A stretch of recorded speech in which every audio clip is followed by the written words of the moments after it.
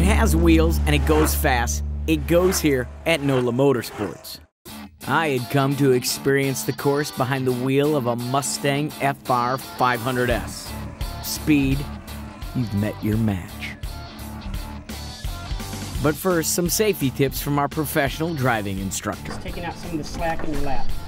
Yeah, this is just like my car seat for my baby. It is. good. Actually, I now know why she cries every time we do this. This is this is kind of annoying. Yeah, it's not built for comfort. That became very obvious. No radio, no cup holders. Come on, where's my Aerosmith?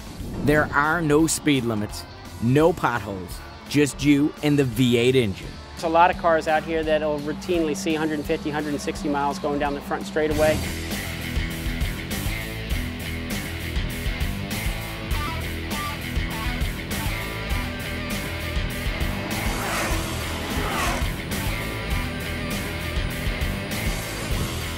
Motorsports Park Mustang Experience, which is a opportunity for just about anybody to come out to the park and drive a real race car on a world-class auto track.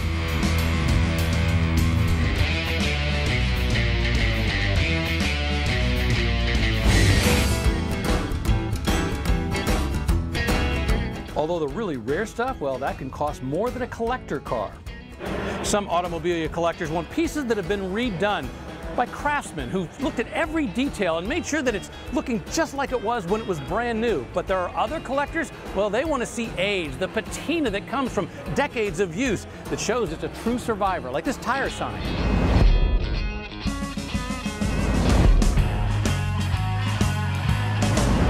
The Abita Mystery House is the reason there are exits on the interstates. It's a roadside attraction that takes you down a quirky memory lane that is filled with southern oddities. In this old gas station, there's the Shrine to Elvis, an alien crash site, and a house dedicated to a hot sauce.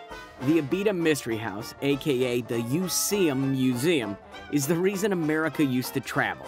This is why station wagons were created. Everybody wanted to hop in and go see Buford the Bassigator. We work on hot rods, classic cars, um, bikes, kind of anything with a motor and wheels. We like to mess with it. When working on custom hot rods, it's it's more than just replacing parts. A lot of times you can't get the parts uh, that you're looking for on some of these old cars, so you have to you have to make them or you have to modify something else to make it work. Very seldom can you just order up uh, a part for, say, a 1929 Dodge.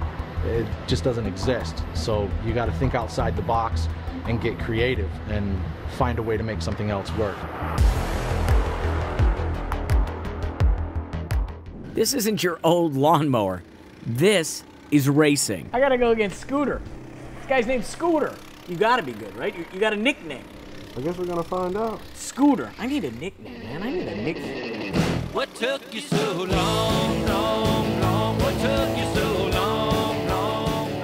Go-kart facility is one of the nation's finest go-kart facilities out here. We have rental carts that can be used uh, that are capable of speeds close to 50 miles an hour. We provide the uh, helmets, everything that you need to go fast out on our go-kart course.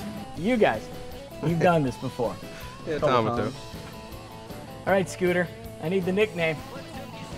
Turtle. Turtle. Yeah. All right, that's funny.